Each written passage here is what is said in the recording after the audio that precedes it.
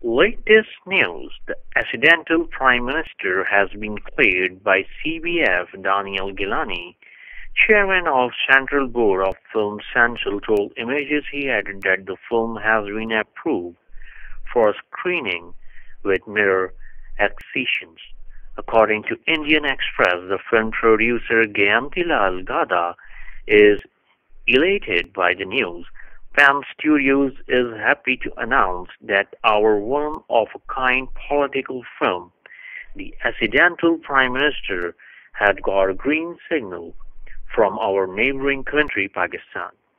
Pakistani moviegoers will be able to enjoy the film as it is set to release there.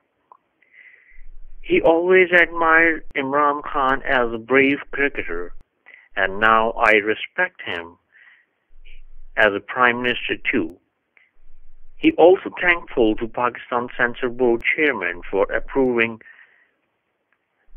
our film, he reportedly said in a statement. The film, based on a book of the same name written by Sanjaya Baru, released in India on January 11th.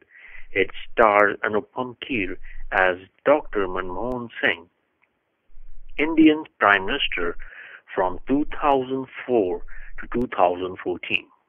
The film has not received rave review in India, where there were protests against the film, and a lawsuit threatened against Kher and his co-star Akshaye Khanna for damaging the image of Prime Minister Singh and his press advisor Sanjaya Baru.